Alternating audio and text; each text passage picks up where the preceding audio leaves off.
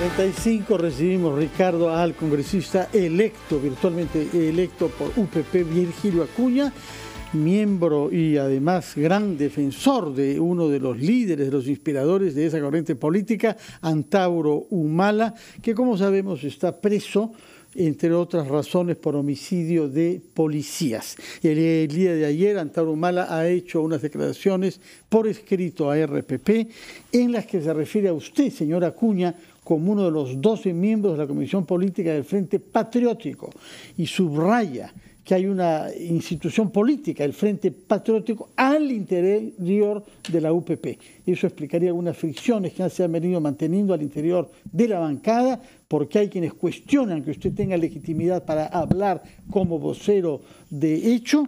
Quisiera que nos explique, por favor, qué futuro le ve a la unidad de la UPP bancada y movimiento político.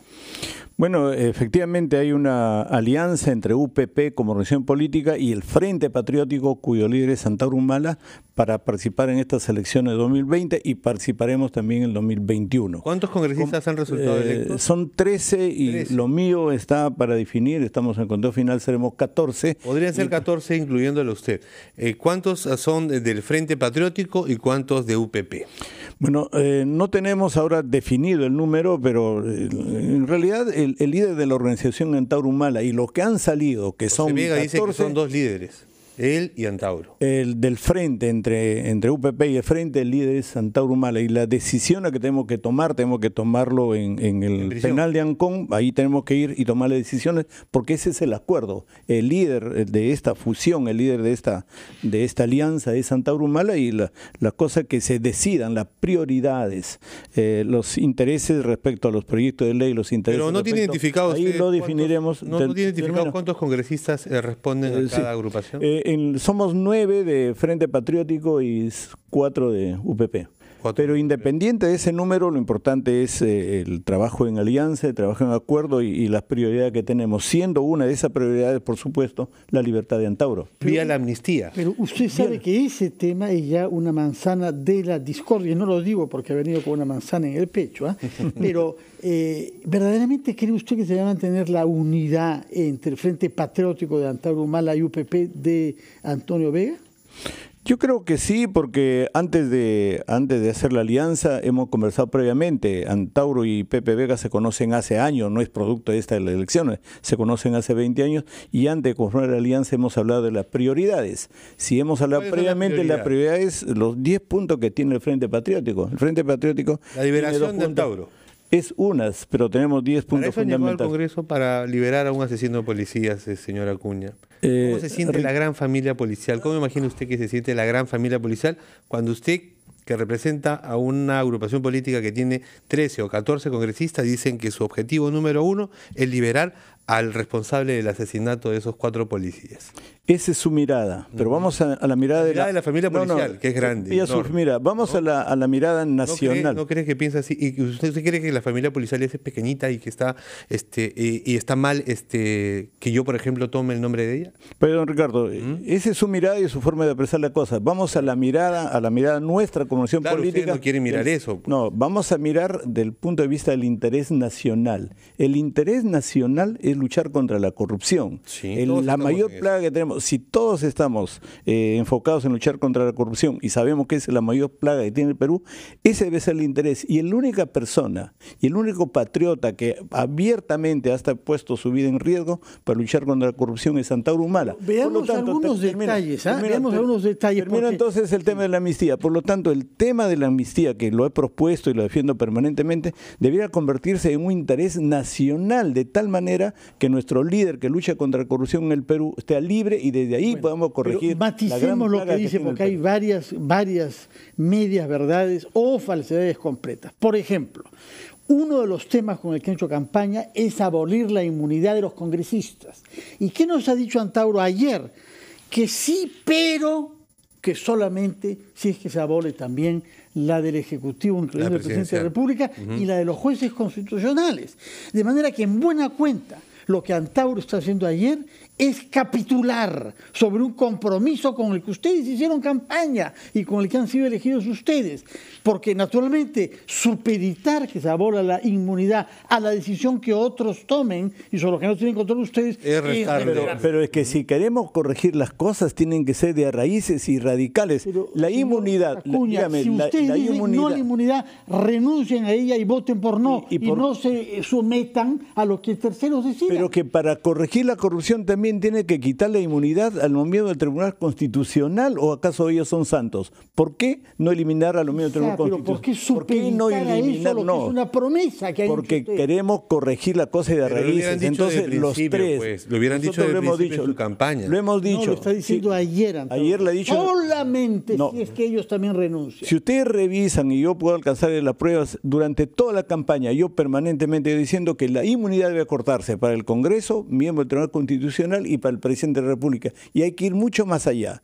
Tenemos que corregir la impunidad, porque el gran problema de nuestro país no es la impunidad. Los crímenes no pueden quedar impunes. Impunidad, la impunidad. Y por eso es que su líder está en prisión. Y está cumpliendo, está cumpliendo con la norma. Tiene que cumplirlo. Usted quiere convertir en objetivo nacional su liberación. También eliminemos entonces la amnistía. Pues. Porque nadie más en ah. el Perú ha hablado tan claro sobre la lucha contra la corrupción. En el Perú, cuando uno recorre el Perú. Hay muchos fiscales, muchos jueces, el presidente Martín Vizcarra tiene levantada la bandera anticorrupción y también la tenía este no no no.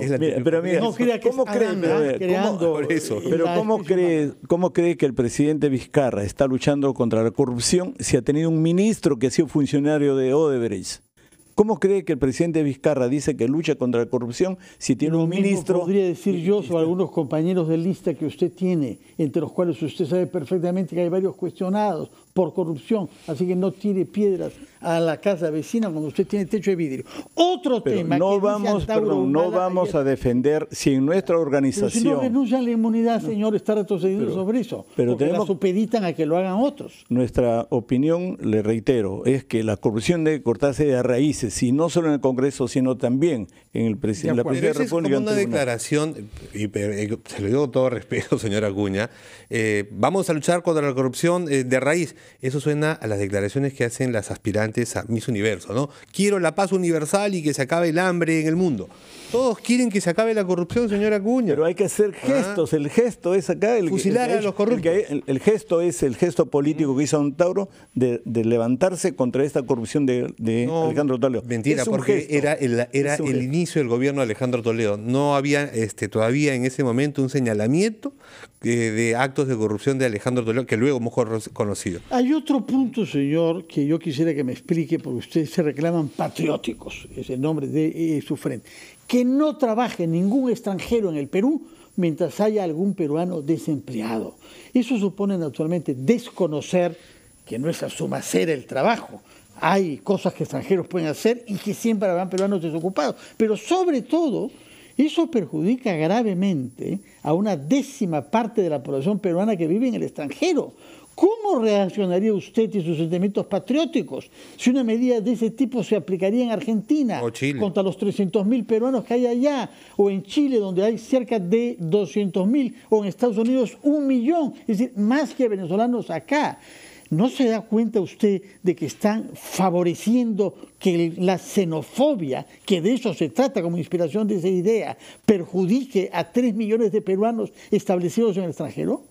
Yo le voy a, rogar a Fernando que, así como lo he escuchado, me dé el tiempo suficiente como para explicar, porque eh, a veces uno empieza a hablar y te cortan. No, no haga preludios, vamos a ver. Vamos a ver el tema eh, del nacionalismo y el patriotismo. Primero, uno de los grandes valores que yo rescato de la propuesta en Tauro es la identidad esa identidad que debemos tener todos los peruanos, con orgullo, con satisfacción, con energía, orgulloso de ser peruano, de nuestros orígenes, nuestra tradición, nuestra cultura, nuestra música, nuestra antigua civilización. Ese es un tema que tenemos que rescatarlo y por supuesto que yo avalo y saludo porque cómo no sentirse orgullosos de nuestro pasado y nuestra cultura y civilización anterior. Segundo, respecto al trabajo. Nosotros tenemos una propuesta muy bien desarrollada. El trabajo no no tiene que ser solo con el tema del trabajo para nuestros compatriotas, tiene que ver también con las empresas. Y esa a veces la prensa no levanta ese día porque nuestro interés es levantar el desarrollo empresarial nacional y los trabajadores. Y específicamente el tema de los, de los compatriotas, se quiere, porque somos latinoamericanos, venezolanos, preferimos, preferimos que todo el trabajo sea para nuestro, para nuestro connacional, nuestro compatriota, porque es un sentido común, lo que recorremos la población, no podemos Entonces dejar, tenemos que votar a los venezolanos. Le, pedí, que me, le pedí que me deje terminar. no, podemos tener, no, pero no puedes tener, pues. no Ricardo, no puedes tener millón y medio de jóvenes desocupados, no puedes tener seis millones de agricultores que solo trabajan para la sobrevivencia, no puedes tener gente que no tiene un seguro social. Ese, ese sistema tenemos que protegerlo, por eso que nos declaramos nacionalistas y preferimos primero lo nuestro antes que lo extranjero. Quedó claro, entonces tendríamos también que votar a los, a, los hermanos venezolanos porque si no pueden trabajar, este, no podrían quedarse acá. Y que se confunde cuando llaman de xenofóbico, nos confunde. Nuestro interés es el trabajo primero para nuestros compatriotas. ¿Qué implica xenofobia? Más o menos como Donald Trump. Mira, ¿por qué no critican Estados Unidos cuando no dejan entrar? Claro, pero que critican Estados Unidos. Todos los días se no es, que Estados Unidos. la pena de muerte, la pena de muerte está en Estados Unidos y no critican a Estados Unidos. La pena de muerte está en Japón y no critican a Japón. Cuando uno lo propone sí lo critican, pero la pena de muerte no es un invento peruano, está en 60 países del mundo. Quedó clarísimo, señor Acuña, gracias, gracias. por su paciencia también. Muchas gracias. Y buenos días. ¿Va a ir a Ancón hoy día a ver al.? No, solo, solo los últimos domingos, que es un abuso también del sistema actual, porque ahora podemos ¿Cómo van a hacer para realizar los proyectos de ley con Antauro si solamente pueden ir este, los últimos domingos? Los congresistas y, todo el Frente Patriótico iremos a Ancón y ahí se decidirán las prioridades. Muy bien, muchísimas gracias, señor Virgilio Acuña. Eh, virtualmente también este congresista electo por UPP, cuyo líder nos este, reafirma es el señor Antauro Mala, que está en prisión. 9 con 46 minutos de la mañana. Regresamos en un instante aquí en RPP Confianza por todos los medios.